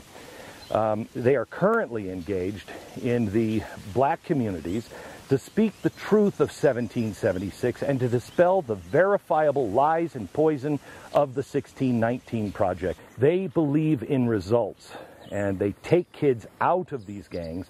They teach them the truth about their history, themselves, our God, and they thrive. If our country deserves saving, it will be saved at the local level, and it all begins with education. Educate yourself and others, step one. Step two, commit to that truth. I'm going to ask you in a few minutes to listen to the words from the 1863 covenant that Abraham Lincoln declared. I want you to listen to it. I want you to discuss it, its meanings with your friends and your family after this broadcast. I want you to share it with members of your church or synagogue. Then take it to them and encourage them to take it and spread the word. You'll find at theamericancovenant.com a copy of the oath. It's free. You can print it, sign it with your family, and put it in a prominent place for your family to remember to honor that oath. After Abraham Lincoln had been driven to his knees and he begged the Lord, What do you want? He made a personal covenant with God, personal. After the Battle of Antietam, after it was won, Lincoln then told people and said, I made a covenant, and I will, quote, honor that oath I gave to myself and my Maker. This was personal before it was national. Same here. This must be personal, a personal commitment to live the way God asks us to. And the third step is action. We have to we have to commit to making a difference in people's lives, a real difference. You know, I, I, could handle some of these organizations that are currently marching against oppression if they were actually doing everything they could to stop oppression and slavery that is happening all over the world and in the United States. Yes, slavery. During the Western slave trade, it lasted 400 years. There were 11 million slaves through that 400 year period. Today, there are 40 million slaves around the world, and we're no different than those who lived in colonial times. We pretend that it doesn't happen, we pretend it's not all around us, and we remain silent. And we don't really want to know about it because it's so ugly. We cannot be those people. This is a cause that can unite all Americans. I don't know anybody who says, "Oh, you know, slavery's not so." No, it's bad. It's horrible. It was then. It's it's it's horrible now. That can unite us. A couple of years ago, I was in Mexico City, and I was speaking to a woman that had actual chain marks all around her neck. She had scars from the years she had spent chained to a wall. Scars on her arms and on her legs and her body where they would burn her with a hot iron if she had to go to the bathroom too many times. She was rescued by a group of real heroes. Many of you helped with the additional and, and initial funding to start that organization that freed her. It's Operation Underground Railroad. Tim Ballard and I went down to meet with her after she had gone through the OUR treatment program, and she was the brightest light. I did an interview with her, you can find it online. It's in Spanish, and I asked her about being a slave, and she told me I was not a slave. Others called me a slave, but in my mind, I was not nor ever will be a slave. Only I can write my life story. Wow. I'm with her, and that's the weekend I come home to see the first bout of students tearing down statues because they said the statue was oppressing them. We got to get out of ourselves because we don't know what real oppression is. We got to get beyond ourselves and finish Lincoln's mission. Tonight, I implore Americans to renew the covenant and put it into action by becoming an abolitionist today. Save the slaves that are currently in slavery in the darkest of worlds, the worlds of sex slavery, where children as young as two are bought and sold. The Nazarene Fund, which we started together in Birmingham, has, I am proud to say, become one of the most influential, if not the leading force to rescue and free those who are persecuted and enslaved now because of their faith and they are all over this planet. I urge you to join one or both of these groups. To free a slave now, I don't even know, it's tens of dollars, tens of dollars, maybe $20. How many people can you and your family, your church, your school, your place of business, how many people will unite around that cause, come together? How many slaves can you free by the end of the year? begin to act in ways that will unite and actually do good. Become a modern abolitionist and act now. Yep, it's a steep path, but it's really not that hard. Abraham Lincoln said it best at Gettysburg.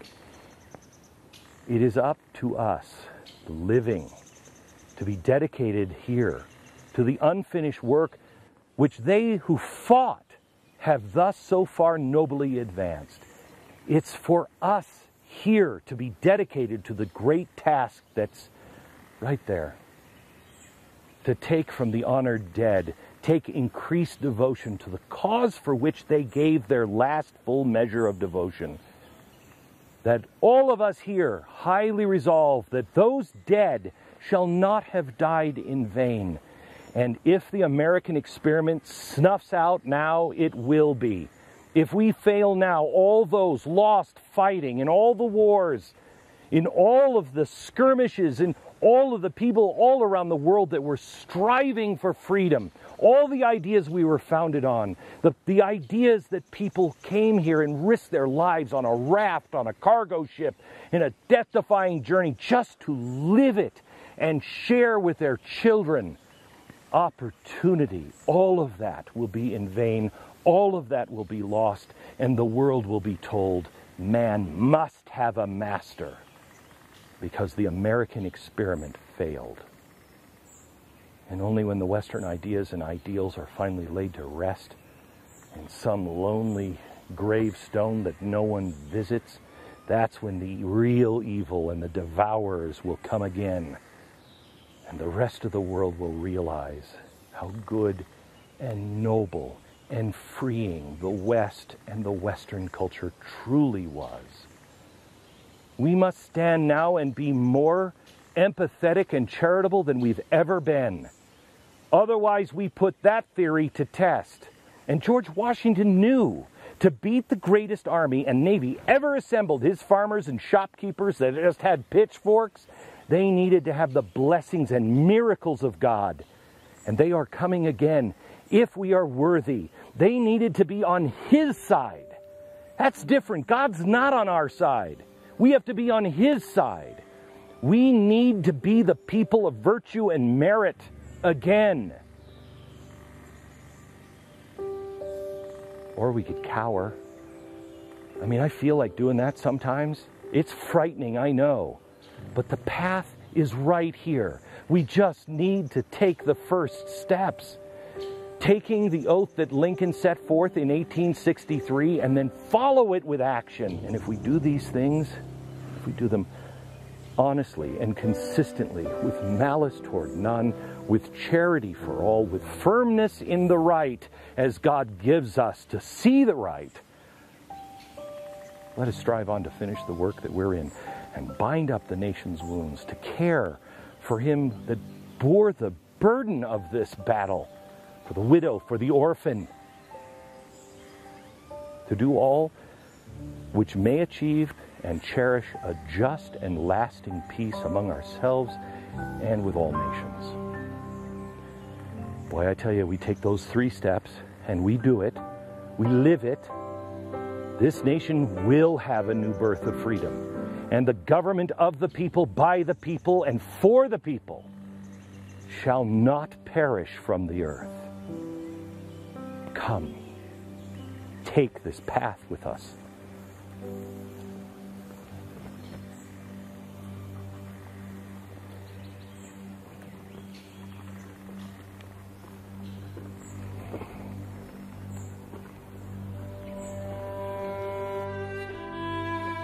It is the duty of nations and of men to own their dependence upon the overruling power of God, to confess their sins and transgressions in humble sorrow.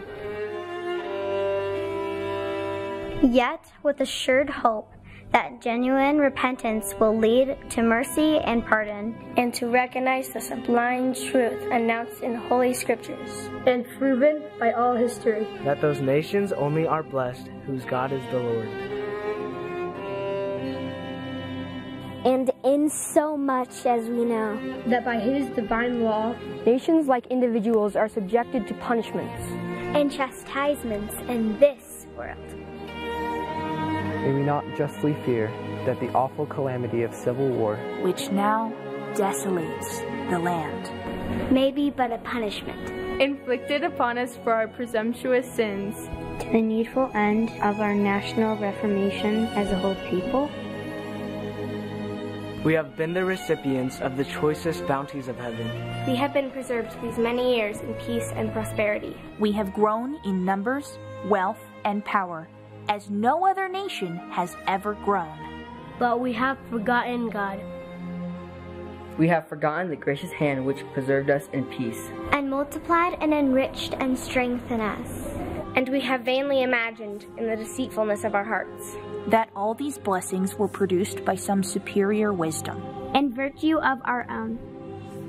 Intoxicated with unbroken success, We have become too self sufficient to feel the necessity of redeeming and preserving grace. too proud to pray to the God that made us. it behooves us then to humble ourselves before the offended power, to confess our national sins, and to pray for clemency and forgiveness. All this being done in sincerity and truth.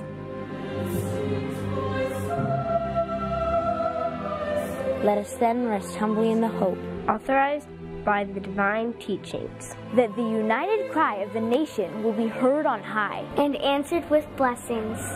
No less than the pardon of our national sins. And the restoration of our now divided and suffering country. To its former happy condition of unity and peace.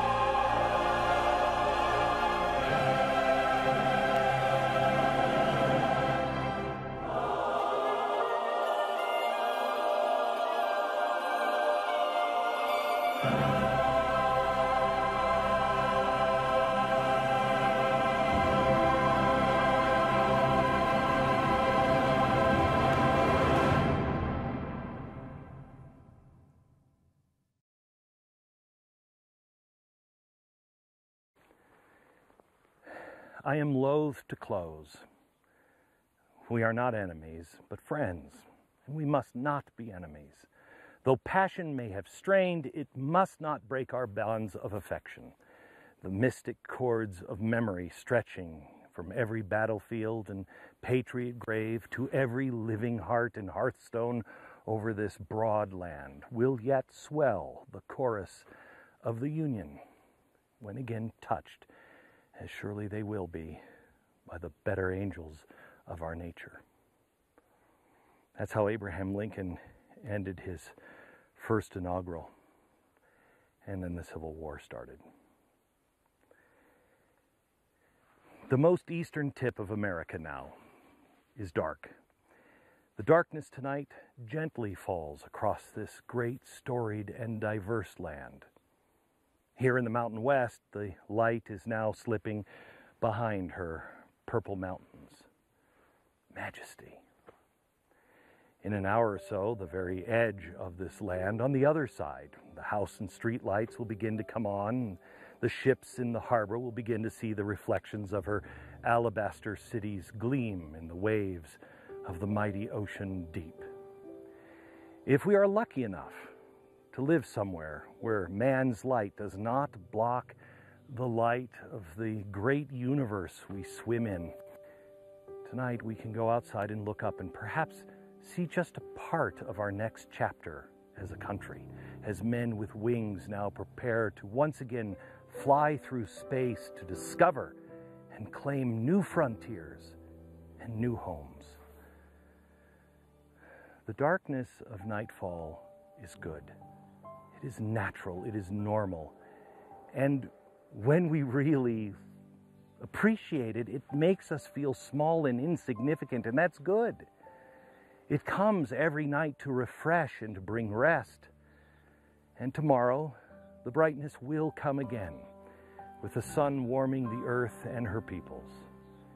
And in the sunlight, we will remember once again who we truly are, humbled by the stars the night before. And we will be ready to do what Americans always do our best. We are going to fail. In this journey, we are going to fail. We'll fail ourselves, we'll fail one another, and God forbid, we will at times fail our God. But we know the promise of our God. We know the promise of this land. It's not about the number of times we fall or fail, but the number of times we get back up again and strive to do our very best. There is forgiveness. I'm so fortunate to be the steward of this land. I come out here sometimes and I, I think of the people that first explored and crossed some of these mountains, who with their children, perhaps a cow or an oxen, or some of them just with a simple handcart full of the few belongings, they crossed this land with hope and with faith. I wonder how many died before the journey was through. But most of them, most of them arrived at their destination. Most of them saw, finally, the land that they had only dreamt about. But I want you to know, unlike them, the journey we set out on tomorrow, none of us are ever going to see the destination. A place run by men that is always just and fair and equitable.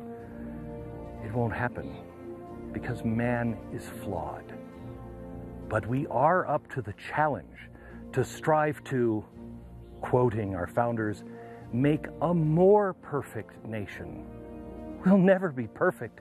We just have to try to be a more perfect nation tomorrow than we are today. What makes this journey so exciting is that, as is everything in life, it's never about the destination. It is all about the journey, and what a journey this promises to be. We were all born here at this time in this nation, each of us with a purpose to build up, to look up, and to help up.